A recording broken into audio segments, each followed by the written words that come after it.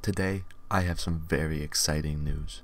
Todd Howard, out of all people, Todd motherfucking Howard, gave me early access to Doom 3, the highly anticipated video game. Todd said I could play the first three levels on my YouTube channel today. This is very exciting news. I graciously accepted this offer because I know that Todd Howard is the one type of person to make a never buggy game. So pre alpha should not be that bad. Hopefully. So we're now in the game, and we can see that Todd obviously made some very drastic changes. Doom is obviously known for the Doom guy.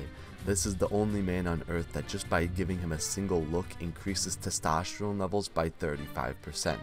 So the fact that he changed to short anime woman might put some people off, but I think Todd knows what he's doing. He's been proven to be a pretty smart guy. So I think we need to wait until the full game release in 2028. Jumping into the full game, I just gotta say, Todd, you're a fucking genius. This is such a great game. For only three levels, there's so many different types of enemies. You got one zombie character that is just the same PNG reused over and over. You got a single pig, and then you got this Reaper guy, which is kind of a badass that takes a total of two shots to kill, making a super difficult game, which Doom is obviously known for. So I'm very thankful that Todd went above and beyond to keep the Doom franchise there.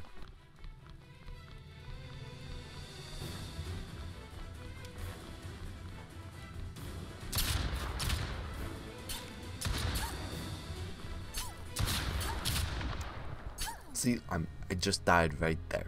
That's the what I really want from a Doom game is to die.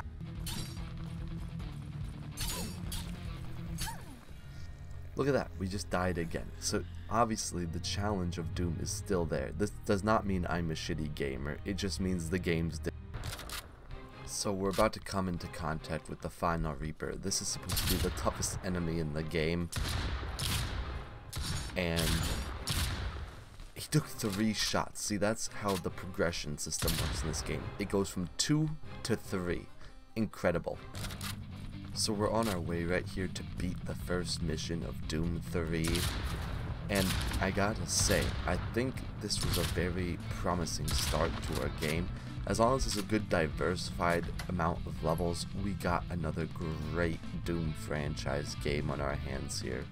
Look at that, it just it just ends. There's nothing else to it. You just open the cage after killing 12 Reapers and you're done. That's how much effort Todd puts into his games right here. This is the bitch we just saved? Really? Going into the second mission, we can already see a great increase in diversified levels. We started off in kind of a small, depressing little town, but we're already moving up to a pirate bay, which I'm happy to report has two different PNG zombies. We have this small little child and a pirate zombie. This is just incredible work on the team at Bethesda who worked on Doom 3 and of course, I mean, I'd be mistaken to forget Todd Howard himself, the GOAT, the legend.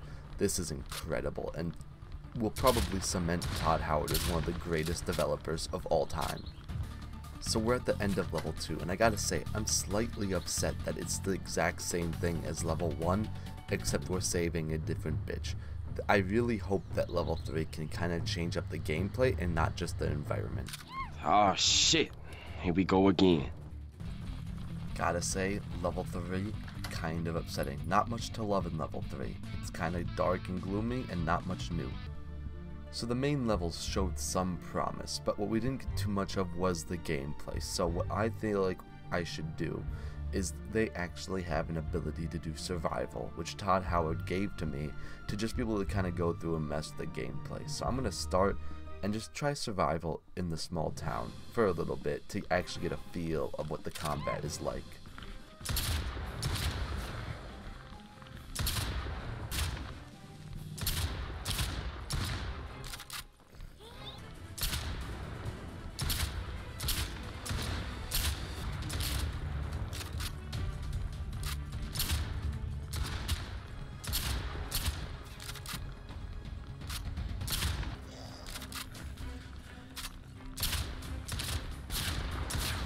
This might be the end of me. That was a dumb mistake to go into that building. Oh, fuck. Yep, I'm dead. There's no way.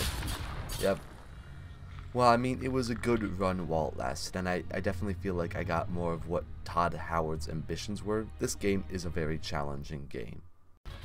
I take it all back, this game is incredibly fucking easy. All you have to do is get the sniper rifle and boom, everyone dies. One shot. Look at this, look at this. Okay, wait, shit.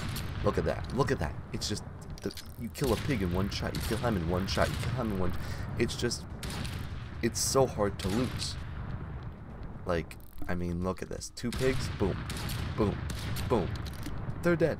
They can't even compete with my sniper rifle. It's, it's actually Todd needs to try. Like, this is. They need to take the sniper rifle out of the game because it is. Look at that. Reaper, one shot, it's dead. Like, look at this guy. One shot, he's dead. I mean, so if you're going to play Doom 3, just go for the sniper rifle. So after playing Doom 3, my thoughts are. Perfect 10 out of 10, baby. Greatest game that will ever come out. This will top all the fucking charts of best games ever. Half-Life 2, get out of here. Halo Combat Evolved, get out of here.